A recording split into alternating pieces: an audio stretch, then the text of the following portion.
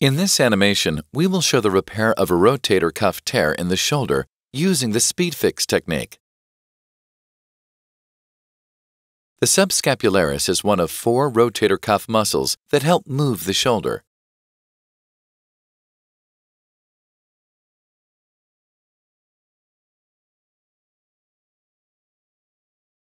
When the subscapularis is injured, you may experience pain and loss of function. First, your surgeon starts by preparing the bone for the repair.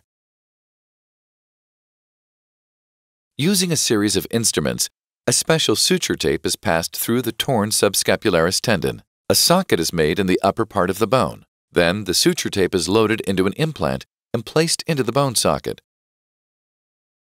The remaining suture is removed. This completes the repair of the subscapularis tear using a SpeedFix technique.